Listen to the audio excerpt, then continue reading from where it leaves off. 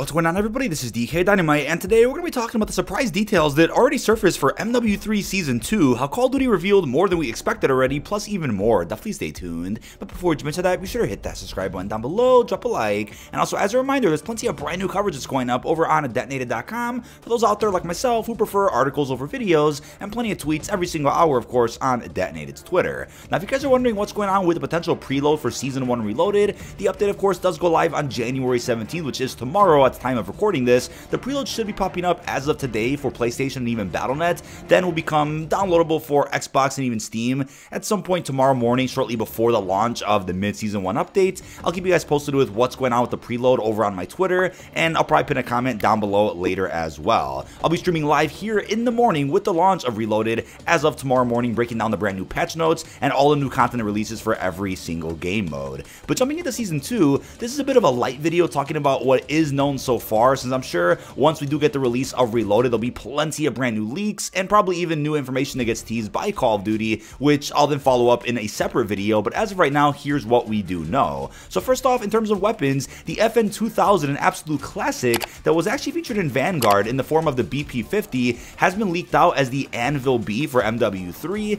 Who knows what it'll exactly be called when it does officially drop though, but a recent blog post image from the Reloaded blog does actually provide us a nice look at the FN 2000. And of course, we know about the leaked emblem for this weapon that has been visible for the last couple of months. I believe it was visible at COD Next, and I think data miners did post an updated version of what that mastery unlock does look like for the weapon. We also have the ARX 160, which has been leaked out for a number of weeks now. I think it was initially leaked out as a Season 1 weapon for the classified Battle Pass sector. Unless that still does release in Season 1, which I doubt, that probably is going to be a Season 2 weapon. There's even a character icon for Scorch that shows the character holding it, so that weapon is just around the corner. I know even leaked images of the ARX and zombies did also pop up. I think it was an outline or something for the mystery box. That weapon is definitely coming at some point. I'm going to guess both the FN2000 and the ARX are going to be Battle Pass weapons unless they drop them in other ways, whether it's armory unlocks, weekly challenges. I'll keep you guys posted there. But we also have the sword and a bow, which may be tied to a Walking Dead collab, or they'll just end up releasing as new special weapons. Who knows? But the sword sounds like a lot of fun, and who knows how they'll end up dropping that one. But when it comes to the bow, obviously I know we already have a bow inside of MW3 thanks to carry forward from MW2. Could be a different type of bow though, because there's kind of three different bows they could possibly drop in Call of Duty. And as of right now, we only have a crossbow, so let's see if we end up getting a traditional bow and arrow or something different from the one we already have in game. And in terms of when they'll end up dropping these, since they've been leaked for a minute, I'm gonna guess they're dropping in Season 2, but hey, they could even be saved for a future title update that we don't know about yet. We also know about several different camos that did leak out, which are probably going to be tied to various events or other types of bonuses that have yet to be announced. These camos do include Blue Abyssal, Windfall, Hard Target, Neon Royal, Forest Gloom, Blue Tiki, Velvet, and even Duck Tile Plates. Now, these camos do look pretty damn sharp, and I'm impressed with how many have already leaked out. I'm just surprised they're already in the game's files.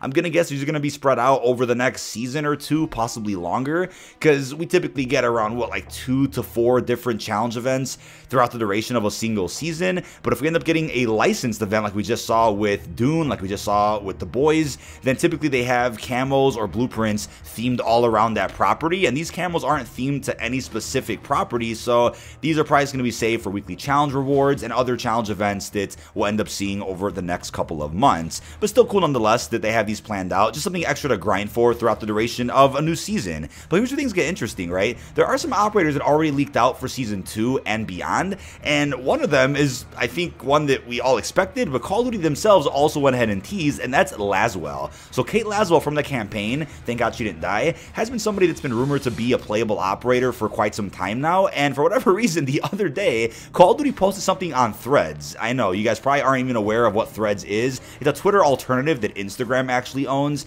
I don't really use it much, and I wasn't even aware that Call of Duty posts any type of media on there. They posted an image of what looks like a funny friends list showing people playing as Ghost, Soap, Price, and even Laswell. And the person playing as Laswell clearly has an icon that we've never seen before, and that's what Laswell's icon will look like when you actually select her to play as in game. So they already revealed that Laswell will be a playable character, which is pretty damn cool, on top of other leaked images confirming that she will end up being somebody you can select in any game mode at some point in the future. But with that, it's also rumored that we're going to be able to play play as Melina Romanov, who was a character that we did see in the campaign as well. She was initially revealed in the Vandal Season 4 cinematic last year, and then was revealed to be working with Makarov in MW3's campaign again. Wasn't really sure where they were going with her narrative, but she'll end up being playable at some point soon, so we'll just have to wait and see if that is for Season 2 or not. Gonna guess that Laswell is the Season 2 Battle Pass operator, unless she's not, and it's somebody else entirely, but Melina may also be in the Battle Pass unless they end up doing what Cold War did, which is release various bundles throughout the duration of a season that also contain new characters that we hadn't played as before. There's other leaked operators as well that are pretty interesting. One of them is this Prison Break type of character that I'm sure could be tied to season two if he leaked this early. Maybe he's not though. But it's interesting looking skin that I believe was also featured in some promo material for season one and season one reloaded. So another skin that's just around the corner. Oftentimes Call of Duty does reveal various content through promo material that has yet to be announced, but they throw a bit of a tease into various blog posts and some of their tweets. There's even the Hawk soap skin, which was supposed to be the reward for Faction Showdown in season five of Modern Warfare 2, but Shadow Company ended up winning that event, not Task Force 141. So we never ended up getting the Hawk Soap skin or the,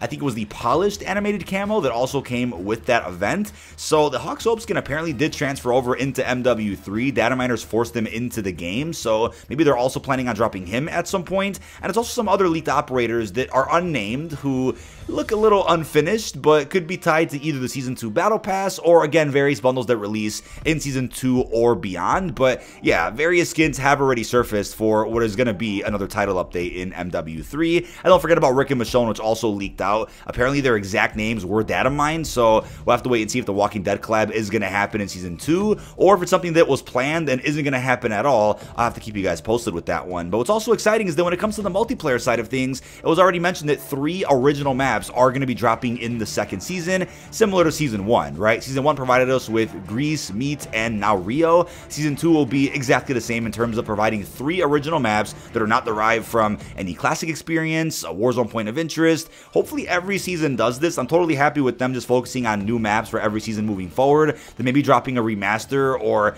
a section for Ground War or gunfight later on with Reloaded, whenever they want to do that. I'm totally cool with it, but once we learn more information about the three original maps, I will make a follow-up video to this one. But speaking of maps, it's also a question mark if Fortune's Keep, the Resurgence map that didn't last that long in Warzone 1, is going to be dropping and returning in MW3 Season 2. They did mention that Fortune's Keep is an early 2024 drop, while Rebirth will be a mid-2024 drop. So I think early 2024 definitely leads up into, what, March? So I'm to say by Season 2 or Season 2 Reloaded, we should end up seeing the return of Fortune's Keep over in Warzone Resurgence. I doubt they'll wait any longer to go ahead and do that. Then again, they have to make the map from the ground up, if I'm not mistaken, for the new engine and whatnot, so I'm not sure how much time it's exactly to take to bring this map back into the light. I'm excited for it, though. It played very well in Warzone 1, and I'm excited to see how it plays with the MW3 movement integration. But then on the zombie side of things, not much is really known, which actually has me excited, because hopefully there's plenty of surprises on deck for MWZ, many of which have not even leaked yet, because the patch has not released at time of recording this for Season 1 Reloaded. I'm sure a lot will be data mined from that update in regards to Season 2, so beware of any spoilers on Twitter or Reddit. But we do know that Treyarch confirmed more Act 4 missions are going to be releasing throughout the post-launch.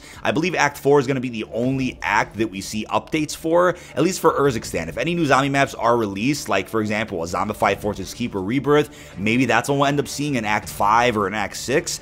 But right now it looks like Act 4 is going to be getting more updates, possibly more story missions throughout 2024. We know a schematic did leak out for the Bloodburner, the Ether Bike inside of MWZ, and also some other Warlords did leak out, which I'm gonna guess they only drop one per season. I don't think they're gonna drop more than one Warlord in a single season, unless there's a cool update where in the Dark Ether or somewhere on Urzikstan, you get multiple Warlords working together. That would be pretty damn cool, but like people probably have said already, and like you guys have probably said, Warlords or Fortress updates feel more like DMZ content, not actual new zombie content, since there aren't really any zombies in the Fortress or near a Warlord, so that's something that's so extra that it could be saved for any other time and should be paired with some actual good zombie updates. But when it comes to the Warzone front, not much is known either about what could be coming to the Warzone Urzikstan experience throughout 2024. Hopefully more map updates, hopefully more But even other maps entirely, which we know already are going to include Fortune's Keep and even Rebirth later on, but it's unclear what exactly they'll be adding to the current Warzone Urzikstan experience, considering it's in a pretty good place right now, and they spent all of last year during MW2 cycle kind of bringing Warzone 2 back up to speed with all the features and quality of life improvements that Warzone Warzone 1 already had over the course of three years of support. So now that they're kind of caught up on all that, I'm wondering what they're going to end up adding. But for those that are wondering what's going on with Warzone Ranked, it's probably going to be Treyarch that works on it again like they did last year with Al Mazrah. But in terms of when that drops is currently a question mark. I'm going to say no later than Season 2 should be when that releases, considering that multiplayer ranked released earlier than it did last year. Last year, I believe it was a Season 2 drop. This year, it was coming out with Reloaded. So, considering Warzone Ranked was Season 3 last year, I'm going to guess this time around it'll probably be early to mid Season 2 that's for Urzikstan, so that it's probably just going to end up being a bit of a copy paste of how it was structured for Al Mazrah, but with a couple of tweaks and improvements. Either way, it is just around the corner. But that is about it. This has been DK Dynamite. Leave your thoughts down below in the comment section. What are your thoughts on the surprise details that already surfaced for Season 2 of MW3? How are you feeling about Call of Duty revealing Laswell as a playable operator, plus everything else we discussed? Really hope you enjoyed, and peace out, everybody.